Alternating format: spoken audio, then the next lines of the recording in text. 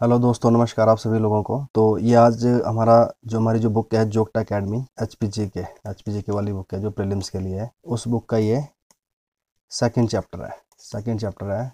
तो आज इस चैप्टर का लास्ट लेक्चर है फोर्थ लेक्चर तो आज आपका चैप्टर कंप्लीट हो जाएगा। तो इसलिए एक बात ये बताऊँगा कि जो भी, जब भी आप इस वीडियो को देख रहे हो, इन वीडियोस को देख रहे हो तो आप शुरू के जो पहले लेक्चर्स हैं, वो ज़रूर देखें। क्योंकि अगर आप सीधा तीसरा या चौथा उठाओगे तो आपको उसका कोई बेनिफिट नहीं होने वाला है। तो कोशिश करें, पहला, पहले से ही स्टार्ट करें। अब यहाँ पे देखिए, हमने कौन कौन से कंटेंट यहाँ पे कर लिया है। एंशियन जनपदाज हिमाचल कर दिया है। Disappearance of Himalayan republic state during third and fourth century और hill state and central authority तो सेंट्रल अथॉरिटी में हमने जो जो भी किया है, यहाँ पर अगर आपको याद होगा चाहे मौर्यास थे, चाहे गुप्तास थे, चाहे हुणास थे, चाहे शख्स थे राइट और उसके बाद हर्षवर्धन रहा और आगे जाके फिर मुस्लिम जो सल्तनत थी, वो दिल्ली वाली थी, वो सारी हमने किया है और कहाँ तक किया हमने? मुगल्स तक। तो यहाँ पे मुगल के साथ क्या क्या रिलेशन थे? कैसे मुगलों ने कांगड़ा फोर्ट को एक्वायर किया? चंबा के साथ कैसा रिलेशन रहा? ठीक है? और उसके बाद सिख एंड हिल स्टेट्स तो यहाँ पे मैंने किया था कि राजा संसार चंद के साथ क्या लिंक रहा है? जो सिक्स थे जो मिसल्स के हेड थे जय सिंह कन्हैया एंड ऑल और बाद रंजीत सिंह आया तो ये आपने देखा है। और उसके बाद बंदा बहादुर के साथ हमने फिर से किया था। बंदा बहादुर ने किस तरह से काम किया था? और उसके बाद गोरखा एंड हिल स्टेट ये भी हमने कर दिया था। Gorkha and hill state. तो किस तरह से गोरखा एंटर हुए? पहले वो गढ़वाल में आए, फिर उनको सिरमौर लाया गया, फिर उस, उनको जो हिमाचल के जो राजा थे, जो कहलूर का राजा था, उसने फिर इनको इनवाइट किया और जिसमें राजा संसार चंद को हराया गया और जिसको बोलते हैं क्या? बैटल ऑफ़ महल मोरिया ठीक है जी। और उसके बाद ये जो जो हमने लास्ट में कल किया था लास्ट वीडियो में तो यहाँ तक ये अभी कहाँ एंटर हो गए थे? शिमला हिल स्टेट्स में। वहाँ चले गया था वो। अब वहाँ पे ये क्या करने वाला है? जैसे कल बताया था मैंने यहाँ पर इनकी यहाँ ऑलरेडी ब्रिटिशर्स थे तो ब्रिटिशर्स के साथ इनके दो तीन पंगे थे। सबसे पहला पंगा था कि ब्रिटिशर्स एक जो फॉरेन पावर को वो वो नहीं टॉलरेट कर सकते। दूसरा नेपाल का एक बहुत बड़ा मुद्दा था, एक बड़ी हिमालयन स्टेट बनाने का, जिसमें सिक्किम नॉर्थ इंडिया की कुछ स्टेट और तिब्बत। तो इसको भी फेल करना था ब्रिटिशर्स को। और थर्ड बात बताई थी मैंने, एक ये ब्रिटिशर्स का ये एक ट्रेडिंग रूट था जो चाइना के लिए और तिब्बत के लिए जाता था। तो इसलिए अब एक डिस्टर्बेंस क्रिएट कर रहे हैं ये जो नेपाली लोग हैं, इनका मेन अड्डा बन गया था अर्की। और ये एंड में कहाँ तक पहुँच गया था आगे? सतलुज के बिल्कुल आगे तक बुशहर स्टेट में, जहाँ का राजा महेंद्र सिंह था जो माइनर था, और उसके साथ इनकी एक डील हो गई थी।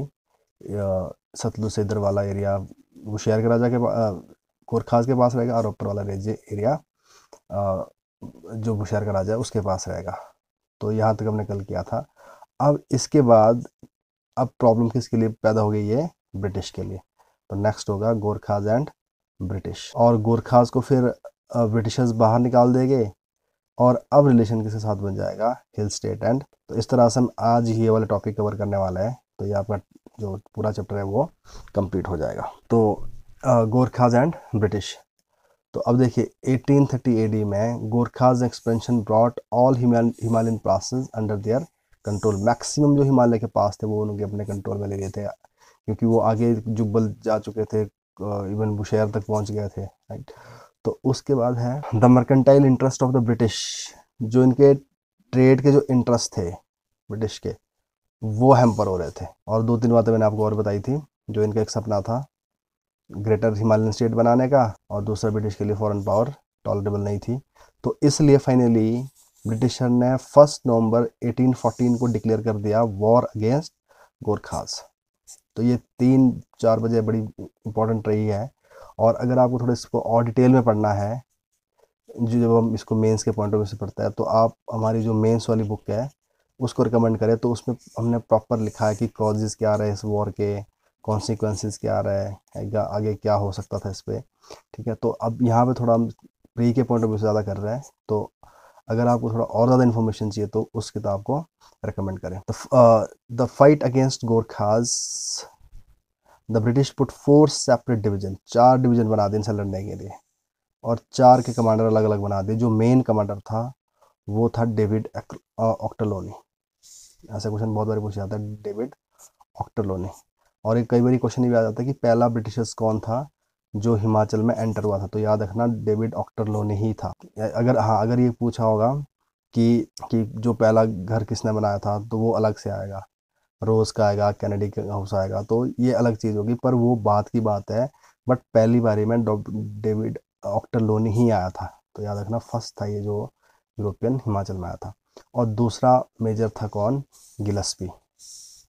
और दो सब कमांड और बना दी गई थी। एक था आ, मेजर मैकलॉड और दूसरा था कर्नल थॉम्सन और जो गोरखा का कमांडर था वो था बल बहादुर थापा वॉज़ एट देरा अब देखिए यहाँ पे एक चीज़ आप समझिए। यहाँ से इनका पॉइंट था। गढ़वाल से अगर मान लो देहरादून फिर आगे आएगा सिरमौर। सिरमौर फिर आ जाओ अर्की। अब अर्की से अगर इधर को थोड़ा आओगे नीचे नालागढ़, इधर बिलासपुर, और यहाँ पे एक इनका बड़ा फ़ेमस फोर्ट था, मलाव मलाव फोर्ट और अगर थोड़ा अपर को जाओगे तो जुब्बल आ गया, फिर हाटू आ गया, और इधर से ही थोड़ा इसके नज़दीक में एक सरहा जगह है चौपाल में। सराह रामपुर में, सराह है चौपाल में। ये है, और उसके बाद आगे जाएगा जो बुशहर स्टेट थी रामपुर। तो आप समझिए ये इनके मेन गोरखास के ये मेन पोस्ट थे। तो देहरादून में इनका जो ऑफिसर रहता था, यहाँ पे कमांडर था, वो था बल बहादुर बल बहादुर देहरादून में था और जो सिरमौर में इनके दो फोर्ट थे फ़ेमस फोर्ट एक नाहन और एक जैतक। ये दो फोर्ट यहाँ पे इनके नाहन में था। और अब जो नाहन वाला एरिया था, यहाँ पे अमर सिंह का बेटा रंजौर रंजौर सिंह थापा रहता था। अर्की में अमर सिंह थापा खुद था, अमर सिंह थापा खुद रहता था। और जो यहाँ पे नालागढ़ एंड मलाव वाला रीजन था, यहाँ पे इनका एक कमांडर था बख्ती थापा। तो ये इधर वाला एरिया देखता था। और उधर जैसे जुब्बल हो गया, या हट्टू हो गया, और इधर एक और फोर्ट था जो आजकल हाटकोटी है, वहाँ पे एक रावीगढ़ फोर्ट था। रावीगढ़ रामीगढ़ फोर्ट तो यहाँ पे जो मेन पोस्ट यहाँ पे जो हाटू थी हाटू में रहता था कीर्ति राणा। तो अब आप समझ लीजिए तो इस तरह से ये इनके मेन पॉइंट थे जो देहरादून से लेकर स्टार्ट होता था और आगे कहाँ तक? रामपुर तक। कई बार प्री में क्वेश्चन पूछता है। और ये इनके मेन कमांडर थे। तो देहरादून में बल बहादुर सिरमौर, नाहन और जिया तक फोर्ट रंजौर सिंह थापा, अर्की में अमर सिंह थापा और जो नाहन, में जो मलाव फोर्ट था नालागढ़ वाला एरिया में, नालागढ़ और बिलासपुर के बॉर्डर पे, मलाव फोर्ट, वहाँ पे बख्ती थापा था और जुब्बल हो गया, हट्टू हो गया रामीगढ़ हो गया, इधर कीर्ति राणा की कमांड थी। तो इस तरह से था ये। तो एक तो प्री के क्वेश्चन ये बनता है कि किस किस पोस्ट पे कौन रहता था। तो अंग्रेज़ों को इन सबसे लड़ना था। और नेक्स्ट है यहाँ पे कि जब ब्रिटिशर्स यहाँ से लड़ने आए तो किन किन लोग इनके साथ मिल लिए थे? ये last to last year I think question भी आया था। कि किन किन लोकल राजाओं ने ब्रिटिशर के साथ मिलना स्टार्ट किया था। तो अब जब ये आगे लड़ने जा रहे हैं तो यहाँ पे जुब्बल का राजा भी मिल जाता है, दो अपने वज़ीर भेजता है, बुशैर भी मिल जाता है, वो भी अपने वज़ीर भेजता है। और एंड में तो यहाँ तक हो जाता है, जब ये बिल्कुल हारने के कगार पर थे, जो बिलासपुर का राजा था, कहलूर का जो राजा था जिसका नाम था महान सिंह। और नालागढ़ का राजा भी, ये दोनों भी मिल जाते हैं। तो महान सिंह वो राजा था, महान सिंह, जिसने जो इसको लेके आया था, जो गोरखास को पहली बारी लेके आया था कहलूर का राजा महालमोरियन की लड़ाई में लड़ने के लिए, राजा संसार चंद के अगेंस्ट तो इस तरह से ये लोग भी मिल लिए थे सारे, जो हम आगे अभी करेंगे। तो अब आप एक लाइन ये याद रखिए कि इनके कौन सी लाइन कौन कौन से इनके मेन मेन पोस्ट थे, और उसके बाद कौन सा इनका कौन कौन राजन से मिले रास्ते में राइट और बाकी इसकी कुछ क्या क्या बीच बीच में इसके इंसिडेंट होते रहे तो ये सारा आपने देखना है। और जैसे कि मैंने पहले बताया कि अगर इसमें और डिटेल करना है कि उनके अटैक की नेचर क्या थी, कैसे वो अटैक करे थे, इसके आगे क्या क्या कॉन्सिक्वेंसेस पड़े तो उसके लिए फिर वही है कि आप मेंस वाली किताब देखें। तो बेटर आपके लिए भी जो बिल, जो दो हज़ार इक्कीस के लिए प्रिपरेशन कर रहा है, जो किसके लिए पढ़ रहा है तो मेरे हिसाब से उन लोगों को दोनों बुक साथ पढ़नी चाहिए।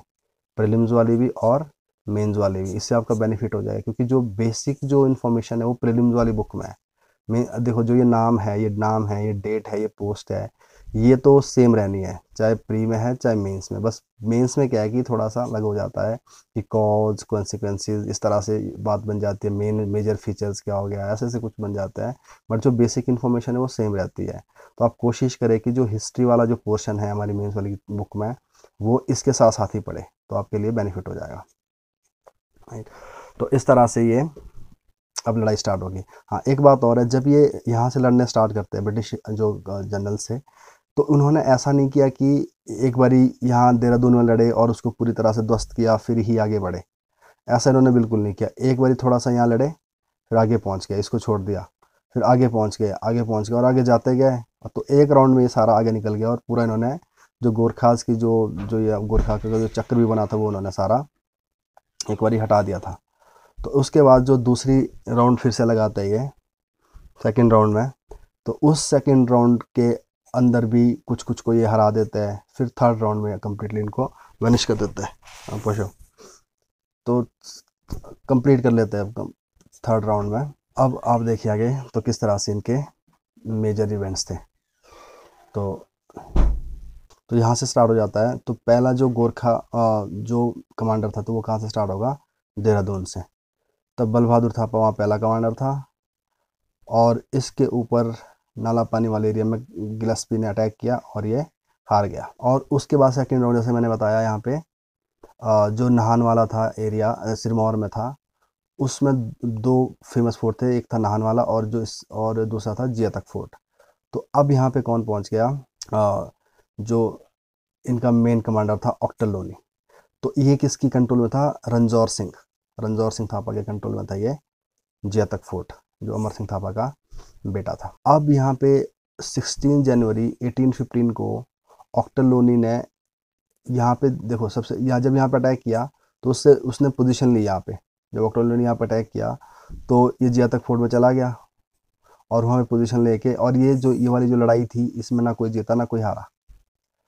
तो यहाँ से आगे इस इस इस अटैक के बाद ऑक्टोलोनी आगे बढ़ गया।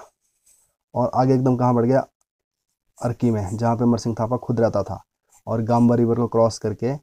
तो यहाँ पे ये हुआ कि वो कम्प्लीटली तो नहीं हरा पाया अमर सिंह थापा को बट यहाँ के कुछ जो पोस्ट थे, कुछ जो फोर्ट्स थे, वो गोरखास को लूज़ करने पड़े ब्रिटिशर्स के लिए, जिनमें से था जरजौरी रामगढ़ एंड तारागढ़। तो आजकल देखना कुछ ट्रेंड इनका बड़ा चला हुआ है कि क्वेश्चन इस पे पूछता है कि कौन सा फोर्ट कहाँ पे, किस फोर्ट की क्या अहमियत है।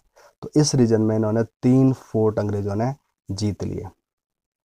ठीक है जी? तो अब इस तरह से, अब वहाँ से अपना आधा, जैसे मैंने बताया था आपको, इन्होंने कम्प्लीटली नहीं काम किया, जितना करना था किया, उसके बाद फिर आगे निकल गया। In the meantime British turn toward the Jubbal अब कहाँ चल पड़े? जुब्बल की तरफ़। और चूड़धार पीक उधर ही आती है। जगह मैं बताया था आपको चूड़धार है वहाँ पे पीक। और जुब्बल और उसमें जुब्बल चौपाल और सिरमौर। तो और उसके बाद हाटू पीक उधर ही पड़ेगी। नारकंडा उधर पड़ेगा। रामीगढ़ उधर पड़ेगा। ठीक है जी। तो इधर से गुरखा उधर की तरफ़ मुड़ गया और कहाँ चले गए was badly thrust in the village of Sarha near Chaupal तो यहाँ पे इन्होंने कुछ गोरखाज को जो सरहा विलेज था, उसमें भी हरा दिया। और उसके बाद ट्वेल्थ मार्च एटीन फिफ्टीन ये ट्वेल्व मार्च एटीन फिफ्टीन को बात है ये। Britishers force were joined by the two main chief of Jubbal एक का नाम था डांगी वज़ीर, एक का नाम था प्रीमो वज़ीर। तो याद रखना ये नाम, डांगी वज़ीर एंड प्रीमो वज़ीर। तो इस तरह से बात चल रही है यहाँ पे। सबसे पहले देहरादून में, उसके बाद आए जैतक फोर्ट सिरमौर में, उसके बाद गए अर्की में। अर्की से चले गए जुब्बल की तरफ़, जुब्बल और चौपाल। और जुब्बल में दो जो चीफ थे वहाँ के, जो वज़ीर थे, वो दो मिल लिए। एक का नाम था दांगी वज़ीर और एक का नाम था प्रीमो वज़ीर। तो इस तरह से ब्रिटिशर्स को अब हेल्प मिलने स्टार्ट हो गई तो और वो पावरफुल हो गए। अब ये जो चौपाल वाली विक्टी थी, इनके लिए बड़ी अहमियत रखती थी, क्योंकि चौपाल और सिर जुब्बल वाला एरिया थोड़ा बॉर्डर पे है। तो Britishers to proceed to Ramigarh fort अब देखो, जुब्बल आएगा तो कहाँ पहुँचेगा? हाटकोटी वाला रीजन में जिसको हम बोलते हैं Ramigarh fort just opposite to the Hatkoti in Jubbal this fort was under the control of Ranjor Singh Thapa. तो ये भी उसी कंट्रोल में था। तो ये भी काफ़ी हद तक इन्होंने जीत लिया था।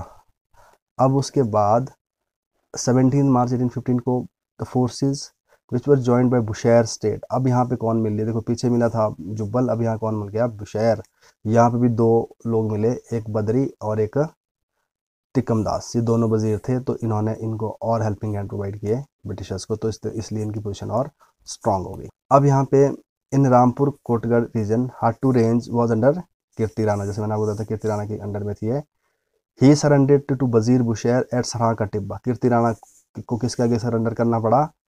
बुशैर क्योंकि बुशैर मिल गया था तो बुशैर के जो वज़ीर थे उनके आगे सरेंडर कर दिया। On the condition that the life of the soldier were to be spare तो ये बोल दे कि हम आप सरेंडर कर दो, हम आपके लोगों को नहीं मारेंगे, आपको छोड़ देंगे। तो इसलिए कीर्ति राणा ने यहाँ पे सरेंडर कर दिया। अब ऑक्टलोनी ने क्या कर दिया? Force Gorkha to evacuate Nalagarh and Taragarh fort अब इनको हट हट गया वहाँ से। In the meantime Amar Singh Thapa move from his headquarter Arki to a inaccessible range of mountain तो अमर सिंह थापा को लगा कि अब यहाँ तक पहुँच गया ये नालागढ़ व तारागढ़ फोर्ट इन्होंने खाली करवा दिया है। अब अगला नंबर किसका आएगा? जहाँ पे अमर सिंह थापा रहता था अर्की में तो वो अर्की से भाग गया वहाँ से। और एक इनएक्सेसिबल रिज ऐसे पॉइंट पे पहुँच गया जैसे ये रिज है। इधर इधर तो रामगढ़ फोर्ट था और इधर ढांक था। तो इस तरह से वो इस रिज पे पहुँच गया। In the right flank resting the fort of Ramgarh at this time Raja Raja Ram Sharan of Hindur and Raja Kahlur joined the Britishers अब देखो यहाँ पे राजा राम शरण ऑफ़ हिंदूर हिंदूर का राजा मतलब हिंदूर मतलब नालागढ़ नालागढ़ का राजा भी और कहलूर का राजा भी। दोनों राजा मिल लिए। अब तो अब तो गोरखास के लिए और मुश्किल हो गई। पहले जुब्बल वाला मिल गया, फिर बुशैर वाला मिल गया, अब हिंदूर नालागढ़ वाला मिल गया और साथ ही कौन मिल गया? कहलूर वाला भी, जिसने गोरखास को लेके आया था। तो इनके लिए बड़ी डिप्रेसिंग मोमेंट हो गई अभी। And 16 January eighteen fifteen David doctor ने launch a major attack on Gorkhas forces led by Amar Singh Thapa and compelled him to evacuate Ramgarh fort और अक्टोबर ने लास्ट स्ट्रोक खेला और यहाँ पे क्या कर दिया? रामगढ़ फोर्ट से उसको बाहर कर दिया। जैसे मैंने बताया था, वो अर्की से छुप गया था रामगढ़ फोर्ट में, वहाँ से उसको बाहर कर दिया। अब लास्ट बच गया जो मेन था मलावा फोर्ट जहाँ पे रहता था अमर सिंह थापा बख्ती थापा। तो अब उसने मलावा फोर्ट पर अटैक किया और बख्ती थापा यहाँ पे मर गया।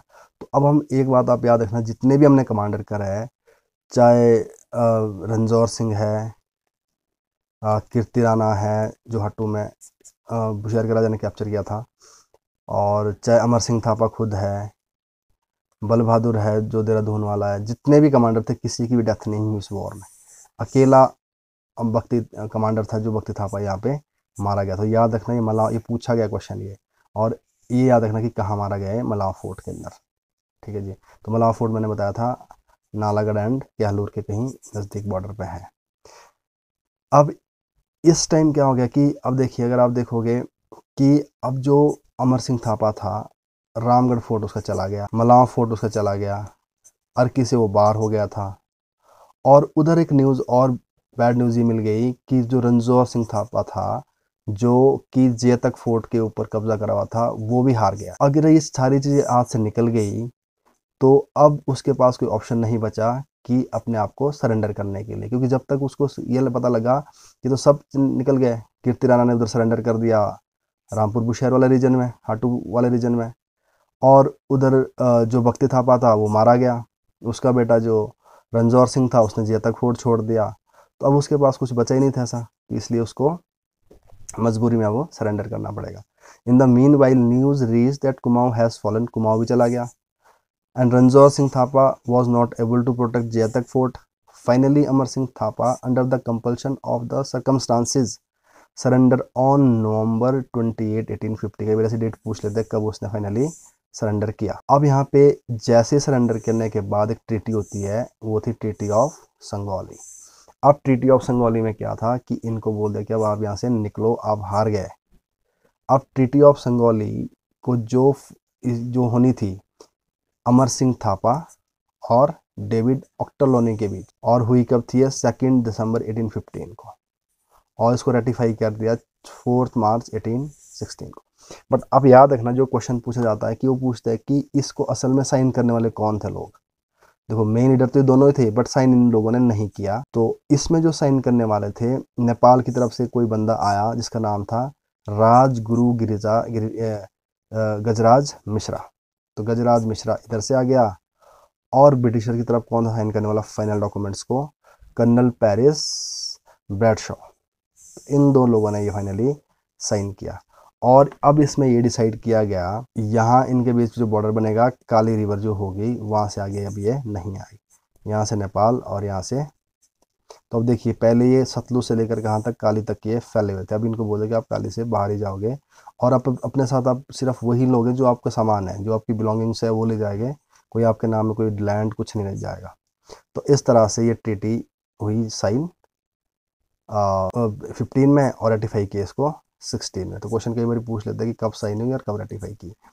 और बाद में इस ट्रीटी को उन्नीस सौ तेईस में फिर रिवाइज किया गया, जिसका नाम रखा परपेचुअल पीस एंड फ्रेंडशिप और बाद में जाके जब देश आज़ाद हुआ तो एक सेपरेट ट्रीटी इसी को, इसी का कंटिन्यूशन मान लो, जो कि उन्नीस सौ पचास में फिर नेहरू जी ने खुद साइन करी वहाँ जाके, नेपाल में, जिसमें ये तीन बातें बड़ी अहम बातें थी। ऐसे ही आप याद रखना इसको। पहली बात ये थी कि एक तो हो गया सॉफ्ट बॉर्डर कि पासपोर्ट वीज़ा की कोई ज़रूरत नहीं होगी एंट्री हो सकती है। दूसरा, कुछ जो जॉब्स वगैरह थी, वो नेपाली सिटीज़न के लिए यहाँ पे सिक्योर कर दी गई और उसके पीछे मेन इंटरेस्ट था, जो गोरखा रेजिमेंट थी आर्मी में इनको सिलेक्ट करना। और तीसरा था एक स्ट्रेटेजिक रिलेशन के पॉइंट ऑफ़ व्यू से भी हमें बात हुई है। इसमें ये बताया गया कि जब भी कोई स्ट्रेटेजिक रिलेशन बनाएगा नेपाल स्ट्रेटेजिक रिलेशन में कुछ भी हो सकता है, जैसे मान लो वेपन्स खरीदना है या कोई अपनी लैंड देनी है मान लो चाइना को देनी किसी और को देनी है स्ट्रेटजिक पॉइंट के लिए जैसे मान लो मिलिट्री बेस बनाने के लिए किसी और बेस बनाने के लिए तो जो भी स्ट्रेटजिक डील होगी उस डील के लिए पहले नेपाल को इंडिया से परमिशन लेनी पड़ेगी। तो अगर आप आज की डेट से देखोगे तो इसी बात पर लड़ाई है इंडिया और नेपाल की कि इंडिया बोलता है कि आप जो भी स्ट्रेटजिक रिलेशन बनाते हो Nepal China and all country के साथ तो आपको हमारी परमिशन ले, लेनी चाहिए। बट उधर से नेपाल क्या करता है अभी ये इस, इस ट्रीटी को कहीं कहीं ओवरटेक कर रहा है और नेपाल के साथ अपनी स्ट्रेटेजिक रिलेशन बना रहा है। तो इस तरह से ट्रिटी ऑफ़ संगोली तो ये मेंस के बड़े इंपॉर्टेंट क्वेश्चन हैं, जैसे ये ट्रिटी ऑफ़ संगोली क्या है, इसके इसके क्या कॉन्सिक्वेंसेज रहे, क्या क्या रहा इसके लिए फिर आप वही मेंस वाली किताब पढ़ें। इस तरह से आप समझ गए होने कि मैं यहाँ पे किस तरह से बता रहा हूँ। तो आप यहाँ पे प्रॉपर एक लिंक बनाएँ कि किस तरह से आपने उसको याद रखना है। कि आपने ये याद रखना है कि देहरादून से इनका स्टार्ट हो जाता है। और एंड कहाँ होता है बुशहर में। और कमांडर आपने जैसे मैंने लाइन बनाई थी, वैसे ही आप इनको जोड़ दो और उसी हिसाब से इसको तैयार कर दो। इधर नाहन हो गया, इधर अर्की हो गया, इधर नालागढ़ हो गया, इधर बिलासपुर है इधर जुब्बल है, इधर चौपाल है, इधर आगे हाटू पीक आ गई, इधर आगे बुशहर आ गया और इधर कहीं कौन सा आ गया? रामीगढ़ रामीगढ़ फोर्ट। वैसे आप फोर्ट याद कर लो इस तरह से। अगर यहाँ पे यहाँ पे काला पानी है, यहाँ पे जय तक नान फोर्ट है, और वैसे यहाँ पे नालागढ़ में रामगढ़ फोर्ट है, और मलाव फोर्ट है, और इस तरह से रामीगढ़ फोर्ट हो गया, है ना? तो आप इस तरह से इसको याद करें। फिर इनको समझे, तभी फिर से बता रहा हूँ कि आप चाहो तो मेंस वाली ज़रूर पढ़ने से साथ तो आपको थोड़ी और क्लियरिटी हो जाएगी। तो इस तरह से क्या हो गया? ये टीटी हो गई। अब नेक्स्ट था। अब आप अब समझिए इस तरह से बन गया कि अभी मान लो ये पूरा हिमाचल है। अगर हम इस एरिया की बात करें जिसको हम क्या बोलेंगे? शिमला हिल स्टेट्स अब जो शिमला हिल स्टेट थी, यहाँ पे राजा थे छोटी छोटी स्टेट थी यहाँ पे। देखो, यहाँ पे स्टेट भी किस तरह की थी? जैसे जो मेजर स्टेट थी सिरमौर, बुशैर, जुब्बल, क्योंथल, इस तरह से ये स्टेट थी। यहाँ पे रहता था राजा, जो राज करता था। इन सभी में अपने राजा थे। बट इन नीचे जो स्टेट थी, इनके नीचे थी ठकुराई। ठकुराई ठकुराई मतलब ऐसा समझ लो कि नवाब। अब मान लो जुब्बल के अंदर फॉर एग्जांपल पाँच ठकुराई है। मतलब पाँच ठाकुर इसको रोल करते हैं अपनी ठकुर, ठकुराई को। अब जो ये पाँच ठाकुर है, वो किसके आगे रिस्पॉन्सिबल है? जुब्बल के राजा के आगे। वैसे ही कुछ ठकुराई बुशैर के पास थी और सिरमौर के पास थी और क्योंथल के पास भी थी बारह अठारह ठकुराई। तो इस तरह से तो अगर आप देखोगे, इस रीजन को रूल करने वाले कौन थे? सबसे पहले कौन कौन है? ठकुराइज ठकुराइज के ऊपर कौन है? राजा। और बाहर से कौन आ गए थे? गोरखास। तो अभी यहाँ पे तीन पावर बन गई थी पहले ठकुराइज राजा एंड गोरखास। अब उधर से चौथी पावर कौन है? ब्रिटिश। तो यहाँ के लोग चार चार लोग इनको रूल कर रहे हैं। तो ब्रिटिशर्स ने क्या कर दिया? गोरखास को बाहर अब सवाल ये था, इन पहाड़ी राजाओं तो कोई वजूद ही नहीं अब। अब ये क्या करेंगे? अब इनको तो ये लगता था कि यहाँ से गोरखा तो हट गया और हटाने वाले कौन है? ब्रिटिशर्स।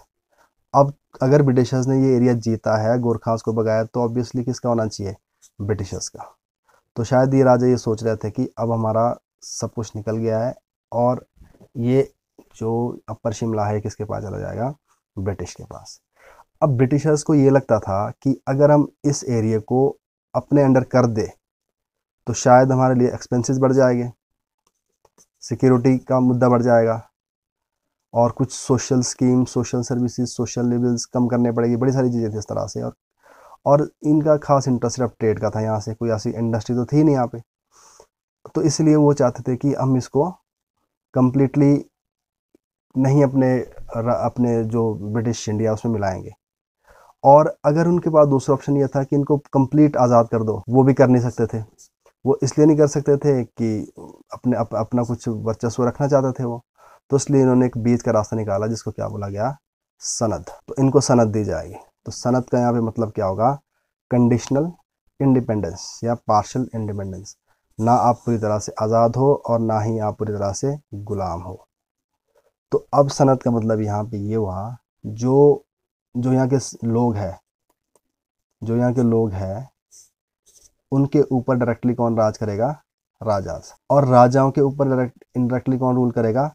ब्रिटिश। तो यहाँ पे लोग रिस्पॉन्सिबल राजा के अगेंस्ट और राजा ब्रिटिश अगेंस्ट तो ये समझ लो डुअल गवर्नेंस टाइप हो गई। दो दो लोग यहाँ पे राज कर रहे हैं ब्रिटिश भी एंड जो राजा भी थे। तो अब यहाँ पे सवाल ये कि कि जो ये सनद है यह है क्या चीज़ है? कई बार क्वेश्चन ये बनता है कि सनद, ये इसके लिए फिर से मैं यही बताऊँगा आपको कि मेंस वाली किताब पढ़े, वहाँ पे काफ़ी डिटेल में बताया गया कि होता है, क्या सनद। तो यहाँ पे आप सनद का मतलब समझिए तो सिंपल भाषा में तो सनद ये हुआ कि आपको पार्शल इंडिपेंडेंस दी गई है, जिसके ऊपर कंडीशन लगी हुई है। कंडीशनल इंडिपेंडेंस दी गई है राजाओं। अब कंडीशन क्या थी इनके पास, जो आपको दो तीन बातें याद रखनी है? सबसे पहली कंडीशन ये थी कि जो राजा लोग हो गए जब वो अपना एडमिनिस्ट्रेशन चला रहे हो गए तो उस टाइम कुछ सोशल रिफॉर्म्स लेके आएँगे अपने स्टेट के अंदर राइट दूसरा, वहाँ पे कुछ रोड का कंस्ट्रक्शन करेंगे ताकि ब्रिटिशर का गुड आसानी से सामान बिकता रहे। तीसरी बात, अगर इन रोड्स में यहाँ से कुछ भी गुजरेगा तो जो ब्रिटिशर्स का जो सामान होगा ब्रिटिशर्स इससे टैक्स से एग्जाम्ट हो जाएँगे। इनको टैक्स नहीं देना पड़ेगा। टैक्स एग्जामेशन मिल गई। और अगर ज़रूरत पड़े, पहाड़ी राजाओं को एक्स्ट्रा टैक्स भी देना पड़ेगा नजराना के तौर पर। और जब जब ज़रूरत पड़े ब्रिटिश इंडिया को तब तब उनको आर्मी भी देनी पड़ेगी। आर्मी भी देनी पड़ेगी जब कहीं वॉर होती है राइट तो सोशल रिफॉर्म्स लाने हैं रोड कंस्ट्रक्शन करना है ब्रिटिश इंडिया को टैक्स फ्री ब्रिटिश का जो है, जो सामान आएगा उसको टैक्स फ्री करना है और टाइम टू टाइम इनको आर्मी भी प्रोवाइड करनी है। और रिस्पॉन्सिबल किसके आगे रहना है? राजाओं को ब्रिटिश गवर्नमेंट और ब्रिटिशर्स ने क्या करते थे? अपने जो सुप्रिटेंडेंट थे, वो बिठा दिए थे। इस तरह से। तो इनका जो मेन सुप्रिटेंडेंट पंजाब में बैठता था, शिमला में बैठता था तो उनके द्वारा ये रूल करते थे। तो अब जो राजा थे वो, राजा तो है बट उनके ऊपर बहुत सारी कंडीशन है। ये है सनत तो उनको सनत दी गई थी। तो राजाओं के लिए भी बहुत कुछ था। राजा को लगता था क्योंकि जहाँ उनसे पूरा राज्य छिन रहा था तो अब उनके पास पचास परसेंट पावर तो है कम से कम। तो राजा अब ब्रिटिशर्स के साथ इस तरह से काम करेंगे। बट प्रॉब्लम लोगों के लिए, लोगों को अब दो दो दो दो के अंदर काम करना पड़ेगा। ब्रिटिशर्स भी है वहाँ पे और वहाँ पे राजा भी है। अच्छा एक चीज़ और यहाँ पे हुई थी जो बड़ी इंपॉर्टेंट चीज़ है कि राजाओं ने क्या कर दिया, ऐसा समझ लो reorganization of reorganization of Shimla hill states अब जैसे मैंने बताया था, यहाँ पे राजा होते थे, राजा के नीचे क्या होती थी? ठकुराई। तो अब यहाँ पे आपने याद रखना, यहाँ पे दो काम किए इन्होंने। कि सबसे पहले जितनी भी ठकुराई थी मतलब जो राजा थे, उनको ही नहीं सनद दी, बल्कि आगे किसको दे दी? ठकुराइज को। जो ठकुराइज थी, उनको भी सनद दे दी गई, उनको भी आज़ाद कर दिया। तो ये रिकन्स्ट्रक्शन रीऑर्गेनाइजेशन हो गई। और कुछ ही ठकुराई ऐसी थी, जिनको स्टेट के साथ इनका विलय कर दिया। अब वो ठकुराई हम पढ़े कॉन्स्टिट्यूशन क्वेश्चन भी आता है। तो अब यहाँ पे राजाओं को सनद नहीं मिली, बल्कि किसको मिली है? ठकुराइज को भी सनद दी गई थी यहाँ पे। तो ये आप समझ गए क्या है सनत क्या है।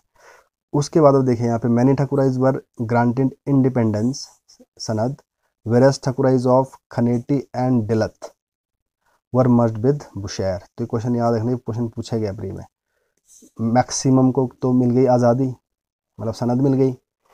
दो ठकुराई थी खनेटी एंड दिलत ये मिलाई गई बुशैर में। कोटी, गूंड, थ्योग, मधान एंड रतेश। ये मिलाया गया क्योंथल में और आगे जाके इनको मैंने जो बताया था नज़र आता तो देना ही पड़ता है। और ये चीज़ें भी थी जो इस इस प्री वाली बुक में नहीं लिखी है मेन्स में लिखी सारी चीज़ें, कि क्या क्या उनके ऊपर कंडीशंस थी। तो इस तरह से सनद इनको मिल गई। तो अब राजा लोग आपस में खुश हो गए, चलो सही हो अब नेक्स्ट था, अब यहाँ पे सिचुएशन ये थी कि अब ये पूरा ये हिमाचल है तो आधा हिमाचल का तो डिसाइड हो गया कि क्या पोजीशन है तो ये तो हो गया कि पक्का कि यहाँ क्या है। सनद है जी। तो ब्रिटिशर्स इससे तो फ्री हो गए। अब जो इधर वाला हिमाचल था, जिसको बोलते हम क्या? Punjab hill state. ये वैसे पार्ट ही पंजाब का था, क्योंकि इसमें रूल ही पंजाब का चलता था।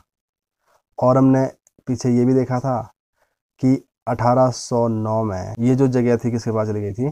रंजीत सिंह के पास। क्योंकि कांगड़ा फोर्ट किसने कहाँ ले गया था? जो हमने लास्ट क्लास अगर आपको याद होगा कि संसार चंद ने रंजीत सिंह से हेल्प ली थी गोरखास को बाहर करने के लिए।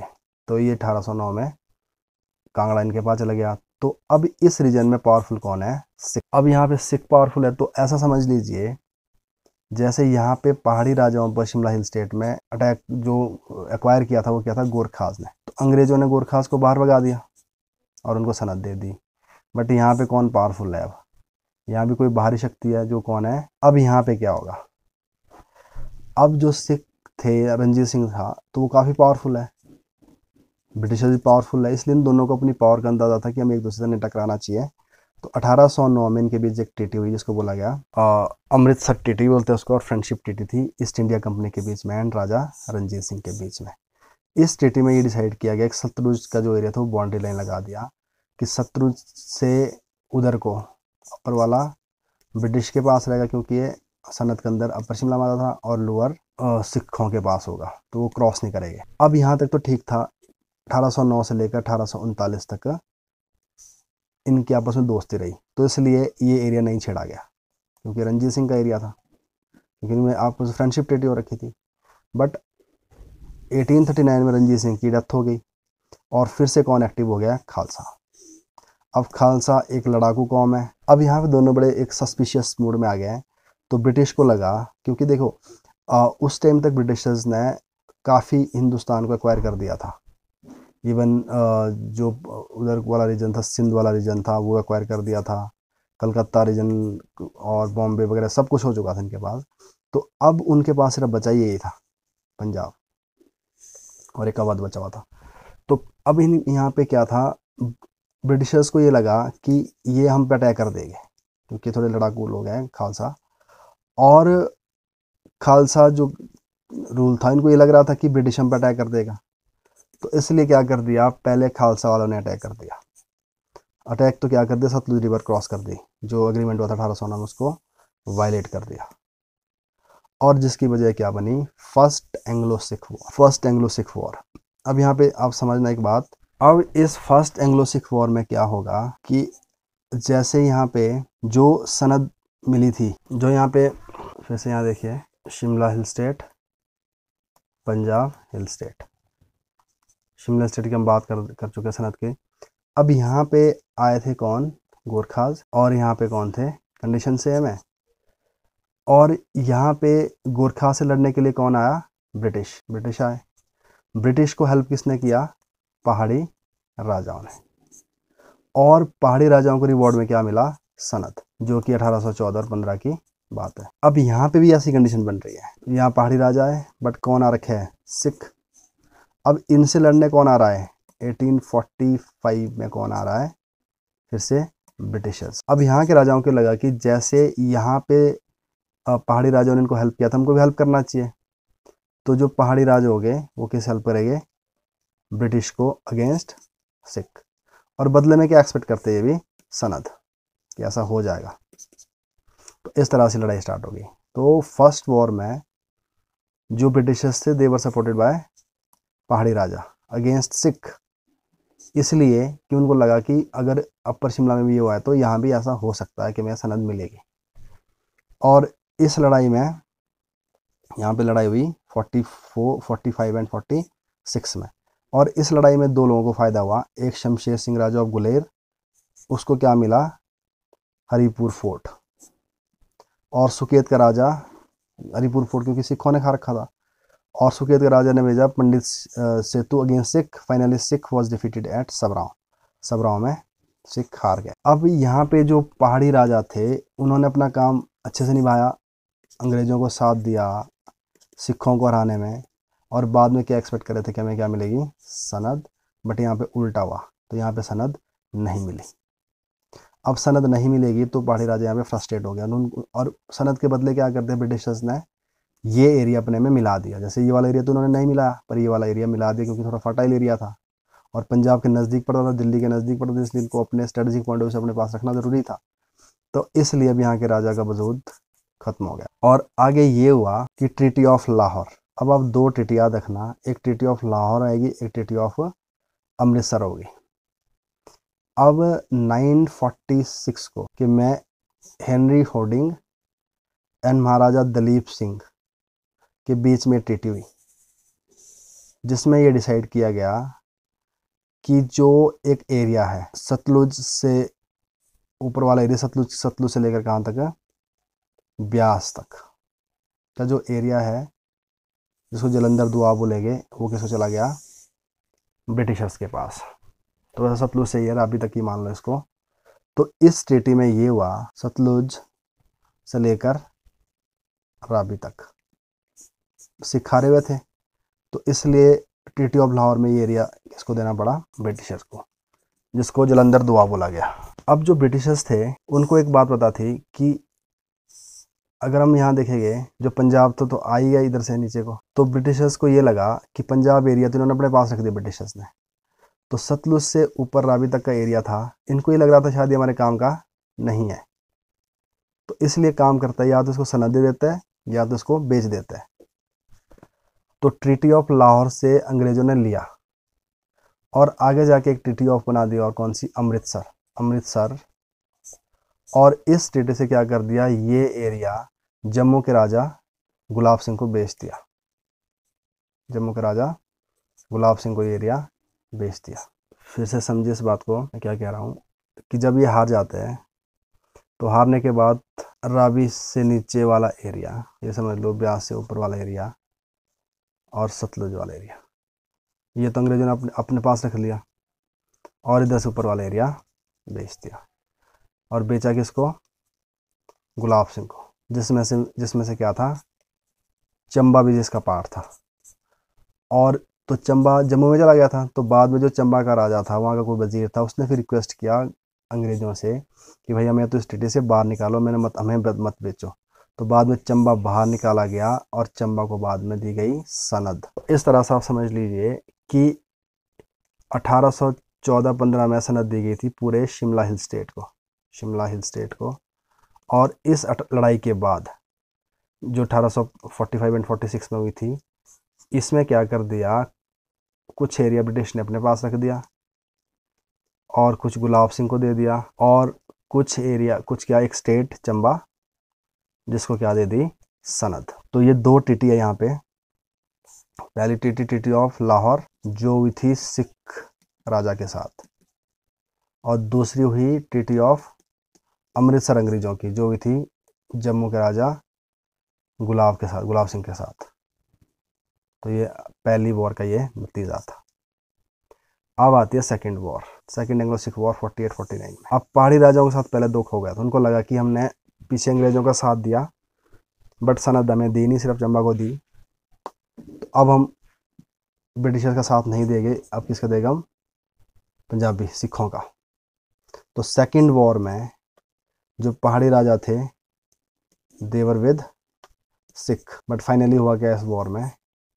फिर से सिख हार गए।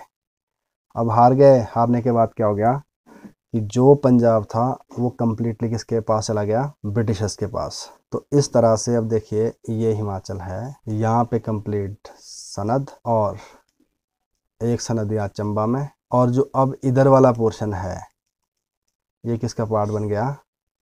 पंजाब का। जिसमें से कौन है अब?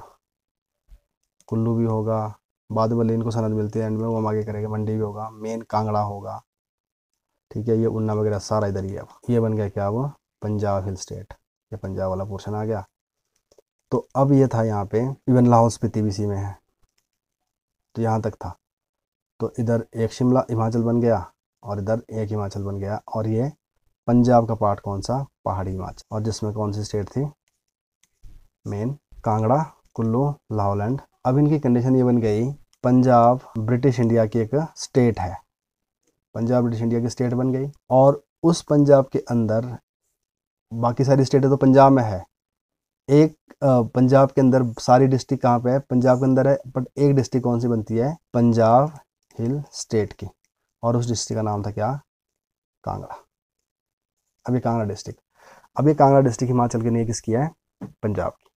और इस कांगड़ा डिस्ट्रिक्ट के आगे दो तहसील समझ लो, एक कुल्लू और एक लाहौलैंड तो ऐसा चलता रहा। तो समझिए आप ये, फोर्टी सिक्स के बाद 1846 के बाद ये पंजाब का पार्टी रहता है। अभी देखो अभी ये पंजाब एक स्टेट है और इस स्टेट के कांगड़ा एक डिस्ट्रिक्ट है और डिस्ट्रिक्ट के नीचे कुल्लू एंड लाहौल स्पीति क्या है इसके तहसील है। बट बाद में आज़ाद होने के बाद 1960 में 1960 में लाहौल स्पीति को भी एक डिस्ट्रिक्ट बना दिया, पंजाब। की पर याद रखना पंजाब की। और 1963 में कुल्लू को भी एक डिस्ट्रिक्ट बना गया पंजाब की। क्योंकि देखो, उन्नीस सौ सैंतालीस में देश आज़ाद हुआ। जब हिमाचल बना तो हिमाचल किसको मिलकर बना था? मंडी, महासू, सिरमौर, चंबा तो इनको मिलकर बना था हिमाचल। तो बाकी जो ये वाला हिमाचल था, कुल्लू लाहौल स्पीति एंड पंजाब कांगड़ा। ये तो थे नहीं हिमाचल में। तो अब ये जो कांगड़ा है, वो पहले से एक डिस्ट्रिक्ट थी। पंजाब की कुल्लू और कांगड़ा बने, पंजाब की बाद में डिस्ट्रिक्ट। अभी तहसील नहीं, अब डिस्ट्रिक्ट है ये। तो अब पूरे पंजाब में ये समझिए पूरा अगर पंजाब है, ये पूरा पंजाब अपना, उनकी अपनी अलग अलग डिस्ट्रिक्ट है, जो भी है, गुरदासपुर, ये और यहाँ पे अब बन गए तीन district Kangra district, Kullu district and Lahaul Spiti district. और जो कांगड़ा डिस्ट्रिक्ट थी, ये तो बन गई थी एटीन फोर्टी सिक्स में ही फोर्टी एट में बन गई थी। और लाहौल स्पीति बना जाके नाइनटीन सिक्सटी में डिस्ट्रिक्ट। और कांगड़ा था फोर्टी एट में और कुल्लू बना नाइनटीन सिक्सटी थ्री में। जब हिमाचल प्रदेश का जो जो हिमाचल का, इंडिया का जो रीऑर्गेनाइजेशन हुआ, हिमाचल और पंजाब का बाउंड्री सेटलमेंट हुई, तब बाद में क्या कर दिया, इसको भी हिमाचल में ही मिला दिया। तो इस तरह से हिमाचल को तीन डिस्ट्रिक्ट का मिलती है 1966 को। तो 1966 को हिमाचल के अंदर तीन डिस्ट्रिक्ट और ऐड हो जाती है। तो अब ये नतीजे क्या थे? First and second Anglo Sikh war के।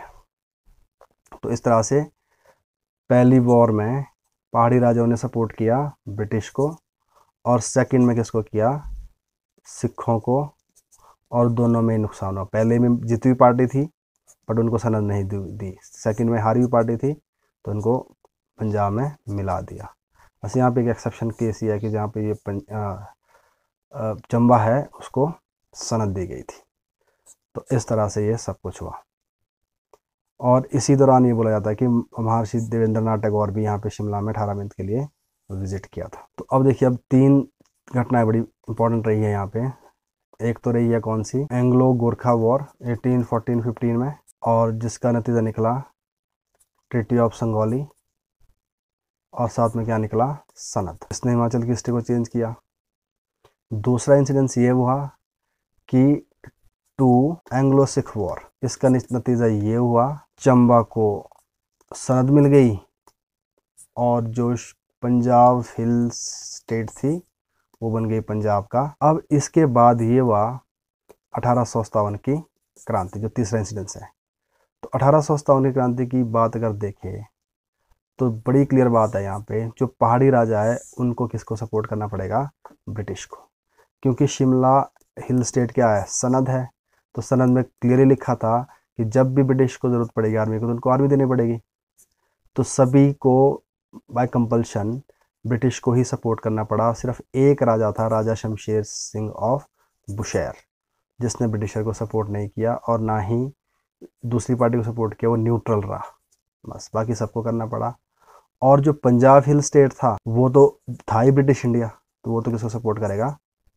अपने आप ही अठारह सौ सत्तावन की क्रांति में ब्रिटिशर्स को ही। तो इस तरह से ये भी एक तीसरा इंसिडेंस था।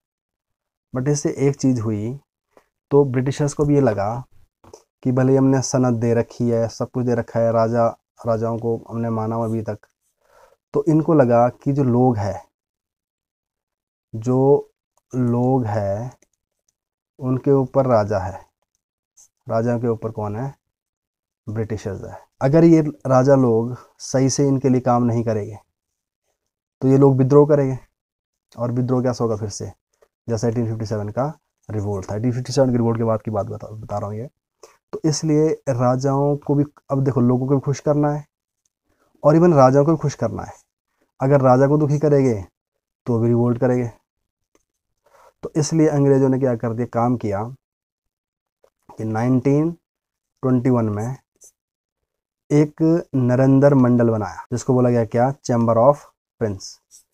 मतलब राजाओं का एक चैम्बर ऐसा समझ लो राजाओं की एक राज्यसभा या लोकसभा। राज्यसभा मान के चलो। राज्यसभा। जिसमें से चुन के जाएँगे लोग पूरे हिंदुस्तान का।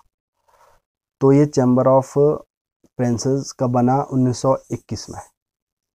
अब यहाँ से चुन चुन के लोग जाते थे। जैसे मान लो शिम, हिमाचल, शिमला हिल स्टेट है। Shimla hill state. जहाँ पे बहुत सारी ठकुराई राजा लोग रहते थे। तो मान लो यहाँ पे तीस कर राजा थे इस रीजन में।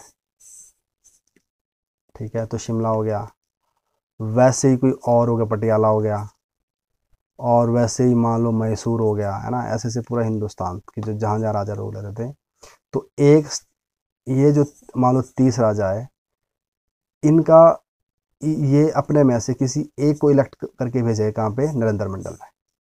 तो एक जाएगा इलेक्ट होके शिमला से, एक जाएगा मान लो पंजाब वाले रीजन से, एक जाएगा मैसूर वाले रीजन से, वैसे ही कोई आएगा मध्य प्रदेश से, कहीं कहीं से आता रहे। जहाँ जहाँ भी राजा वहाँ से हर एक जगह से चुन कर आएगा। तो इस तरह से तो शिमला हिल स्टेट से जो चुन के गया था, इसमें वोट लोग नहीं करते थे। कौन करते थे? राजा आपस में करते थे।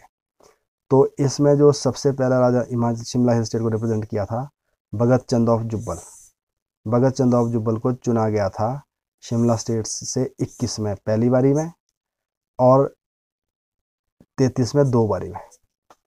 तो देखो 1921 से लेकर 1924 तक भगत चंद्रा और 24 से लेकर 33 तक चुना गया किसको? दुर्गा सिंह, राजा दुर्गा सिंह। तो दुर्गा सिंह आई थिंक बघाट बघाट जो स्टेट है, सोलन, वहाँ से थे। तो दुर्गा सिंह इस पीरियड में रहे। और फिर तैतीस के बाद फिर आगे एक टर, एक टर्म के लिए फिर से किसको चुना गया? फिर से भगत चंद को। तो इस तरह से ये क्वेश्चन भी बहुत बारी पूछा गया है। तो आज हमने जो डिस्कस किया है तो ये हमारा लास्ट लेक्चर था इस सेकेंड चैप्टर का। तो मैं उम्मीद करता हूँ कि आपको थोड़ा इंटरेस्ट बना होगा कुछ समझ भी आया होगा। और अगर आपको जहाँ भी प्रॉब्लम लगती है या समझ नहीं आ रहा है या कुछ और भी है जो जहाँ चाहते हो कि जो मुझे थोड़ा इम्प्रूव करना चाहिए तो आप कमेंट्स में लिख सकते हो।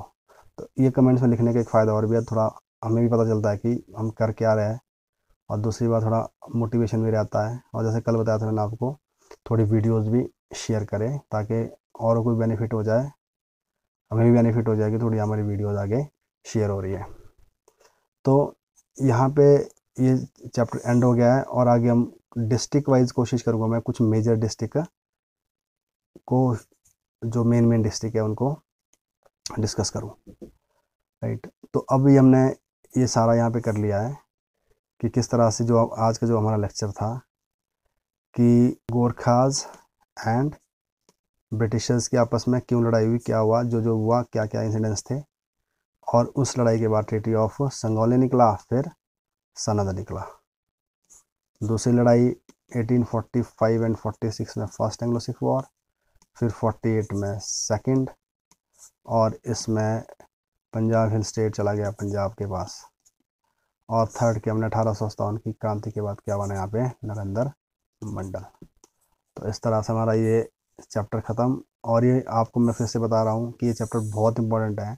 जब आप डिस्ट्रिक्ट वाइज हिस्ट्री करते हो डिस्ट्रिक्ट वाइज करते हो आप हिस्ट्री इसका ये बेस है बेस अगर आपको ये ये टॉपिक ये चैप्टर नहीं समझ आता तो आगे वाले टॉपिक आपके फिर रट्टे मारने पड़ेगा आपको. लिटरली रट्टे रट्टे मारने पड़ेंगे क्योंकि आपकी कोई अंडरस्टैंडिंग नहीं बनेगी. तो इसके लिए बहुत ज़रूरी है इस चैप्टर के ऊपर अंडरस्टैंडिंग बनाना. तो आगे के लिए आपको बहुत आसान हो जाएगा, बहुत ज़्यादा आसान होने वाला है. और उसका तरीका फिर यही है. वीडियोज़ आप देखो, एक बार देखो, दो बार देखो, और बट साथ साथ जो बुक है, उस किताब में जो लिखा है, जो सेकंड चैप्टर है, उसको कम से कम तीन बारी पढ़े बैक टू बैक अगर तीन बारी पढ़ोगे, वीडियो देखोगे और मैं आपको गारंटी साथ बताता हूँ, आपको ये चैप्टर आप इसके मास्टर बन जाओगे। और हिस्ट्री के बहुत सारे क्वेश्चन इसी में से निकलता है। और आगे डिस्ट्रिक्ट वाइज हिस्ट्री आपकी आसान हो जाएगी। तो अभी हमारा ये कंप्लीट हो गया है और नेक्स्ट मैं कोशिश करूँगा डिस्ट्रिक्ट वाइज कुछ कुछ मेजर डिस्ट्रिक्ट को कवर करूँ। तो तब तक के लिए धन्यवाद।